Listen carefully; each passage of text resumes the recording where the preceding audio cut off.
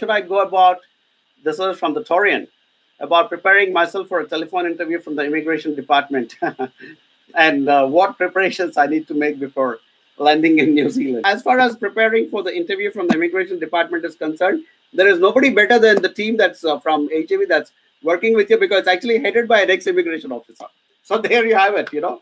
So, you know, the, the our team now has got a few ex-immigration officers uh, who, for their own career changes, wanted to uh, look at the private sector. And, you know, we're very fortunate and privileged to have these uh, wonderful professionals come and join our team. So we're very you know, happy and pleased and joyful to have them on our team. So they'll prep you for it, uh, uh, uh, Nishant. And really, I mean, there is no prepping as such other than just to speak the truth and talk honestly and openly and be confident. You know, don't don't you know uh, sound like some guy who doesn't know what you're about to do in New Zealand. So you need to sound confident. You need to know what course you're going for, which city, what are the possible outcomes, so on and so forth. So that's a very basic outline I can give you during this conversation. But talk to our uh, you know uh, visa team back in India, and they'll uh, give you more details how we can prep yourself for the interview.